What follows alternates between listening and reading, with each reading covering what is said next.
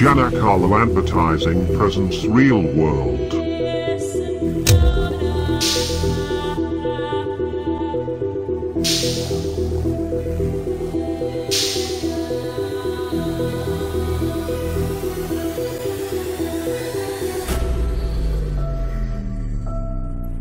ඔගොල්ලන් දැනටමත් අහලා තියෙන දෙයක් ගැන තමයි මෙතනදී අපි කතා කරන්න යන්නේ. ඒ කියන්නේ පාස්වර්ඩ් එක ගැන. ඔගොල්ලන් දැන් මේ වෙනකොටම පාස්වර්ඩ් එක කියන්නේ මොකක්ද කියලා දන්නවා.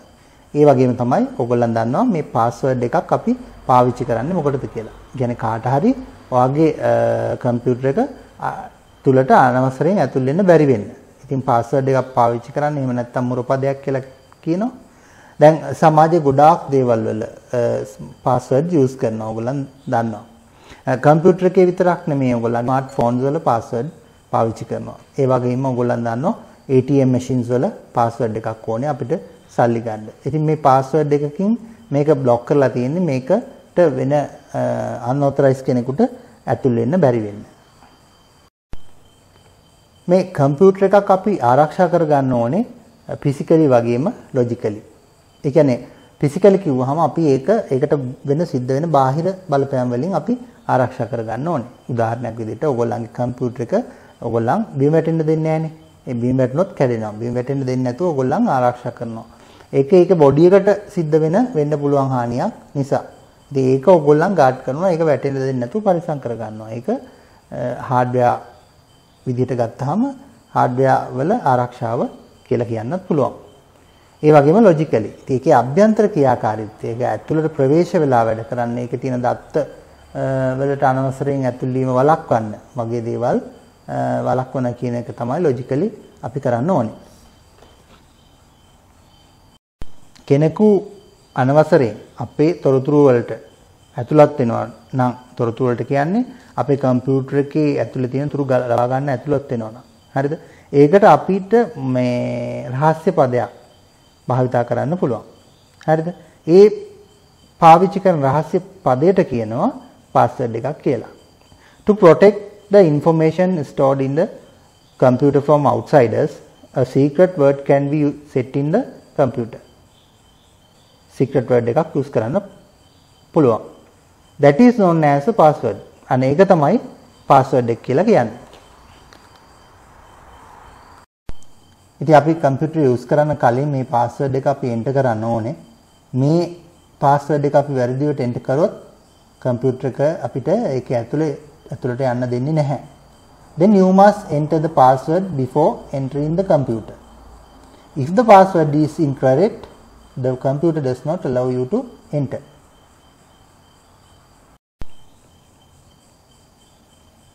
ඉතින් අපිට password එකක් සකස් කරගන්නදී අපි හිතන්න ඕනේ උපදෙස් ටිකක් තියෙනවා. දැන් මෙතන අපි ඊළඟට කියන්න යන්නේ අන්න ඒ උපදෙස් ටික. password එකක් කොහොමද හරියට create කරගන්නේ කියලා.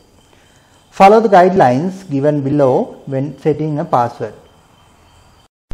අපි password එකක් හදනකොට ප්‍රධානම මතක තියාගන්න ඕනේ ඒක collection එකක් වෙන්න ඕනේ. ඒ කියන්නේ එක වචනයක් වගේ විතරක් නෙමෙයි වෙන්න ඕනේ. හරිද?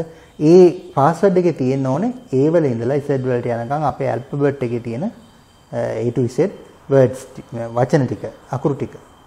හරිද? ඊට පස්සේ Uh, numbers use කරලා තියෙන්න ඕනේ. බිංදුව ඉඳලා 9ට යනකම් මොනවා හරි numbers use කරලා තියෙන්නත් ඕනේ. ඒ වගේම ඔයගොල්ලන් දන්නවා uh, symbols තියෙනවා ඔයගොල්ලන් දන්න at එක වගේ symbols. Uh, ඒ කියන්නේ ඔයගොල්ලන් දන්නවා Gmail එකක් ගැන කියනකොට @gmail.com කියලා තියෙනවා. ආන් එතන පාවිච්චි කරන symbol එක at කියන එක. ඒ වගේ symbols ගන්නවක ඔයගොල්ලන්ට keyboard එකේ හොයාගන්න ලැබෙනවා. අන්න ඒ වගේ දේවල් පාවිච්චි කරන්න ඕනේ. ඉතින් මේක අවම වශයෙන් අකුරු මොනම જાතියක හරි අකුරු 8කට අවම 8කවත් தත්ත්වය තියෙන්න ඕනේ. මොකද මේකේ සේෆ්ටි එක වැඩි වෙන්න ඕනේ, වැඩි වෙන්න ඕනේ. හින්දා අපි සරල දෙයක් ගහන්න හොඳ නැහැ. මොකද කෙනෙකුට ගෙස් කරලා ටයිප් කරලා ඇතුල් වෙන්න පුළුවන්.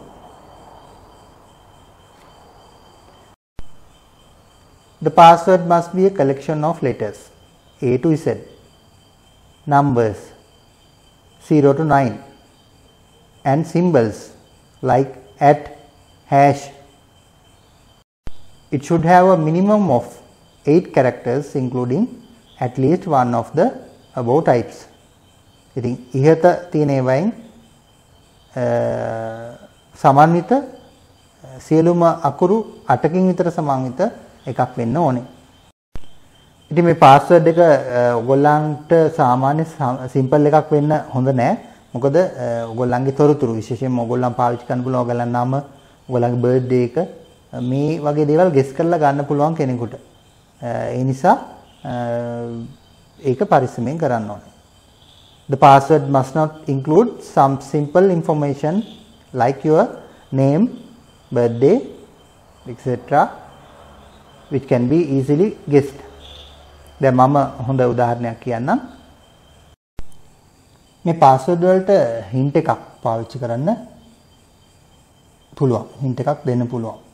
In case you forget the password, you can give a word or a statement as a hint that will help you to recall it again. දැන් මේක අපිට මේ password එක අමතක වෙන්න පුළුවන්. ඒ අමතක වුණොත් අපිම අපිටම හොයාගන්න බැරි වෙන නිසා අපි හින්ට් එකක් දීලා තියෙනවා. ඒකට කියන්නේ ඒකට ලං වෙන්න පුළුවන් මොන හරි සරල දෙයක් දීලා තියෙනවා. හරිද? දැන් උදාහරණයක් විදිහට අපි ගත්තොත් එහෙම ඔයාගේ password එකේ තියලා තියෙන්නේ ශ්‍රී ලංකා password එකේ ශ්‍රී ලංකා කියලා කොටසක් තියෙනවා කියලා අපි හිතමු. ඊට පස්සේ අපි hint එක විදිහට දෙන්න පුළුවන් a country කියලා. කියන්නේ රටක් කියලා. දැන් country කියලා hint එකක් දුන්නාට පස්සේ අපිට මතක් වෙනවා හරි මම දැන් මේ ශ්‍රී ලංකා කියන වචනය සහිත පාස්වර්ඩ් එකක් කියලා අපිට ඒ ඔස්සේ යන්න පුළුවන් වෙනවා. By giving an email address, the password can be restored.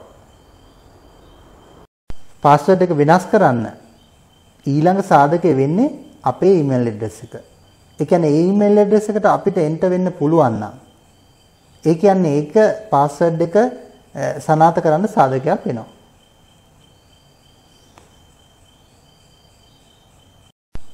Email එකට අමතරව දැන් තමන්ගේ ෆෝන් නම්බර් එක පාවිච්චි කරනවා පාස්වර්ඩ් එක සනාථ කරන්න අවශ්‍ය වුණාම. ඒ කියන්නේ අපි පාස්වර්ඩ් එක forget password වලින් ගිහිල්ලා නැවත පාස්වර්ඩ් එක සකස් කරනකොට අපේ ෆෝන් එකට එවෙලෙම මැසේජ් එකක් එනවා. ඒ කියන්නේ ඔතෙන්ටිකේෂන් කෝඩ් එකක් එනවා. ඒකෙන් ඒගොල්ලන් තේරුම් ගන්නවා මේ පාස්වර්ඩ් එක මෙයාගෙමයි කියලා. මේ අදාළ පුජ්‍යලයගෙමයි කියලා. ඒක තහවුරු කරගන්න තමයි ෆෝන් නම්බර එකට ඔතෙන්ටිකේෂන් කෝඩ් එකක් එවන්නේ. ඉතින් අපි ඊළඟ අවුරුද්දවල මේක ගැන තවදුරටත් කතා කරනවා. දැන්ට මේ සාමාන්‍ය පාස්වර්ඩ් ගැන සාමාන්‍ය දැනුමක් තමයි මේ කොටසින් කතා කරන්නේ. මේ පාස්වර්ඩ් එකට ඊමේල් එකක් ඇටච් කරලා තියෙනකොට අපිට පුළුවන් වෙනවා මේ පාස්වර්ඩ් එක අමතක වුණොත් එහෙම නැවත ලබා ගන්න. එහෙම නැත්නම් පාස්වර්ඩ් එක වෙනස් කරන්න පුළුවන් වෙනවා.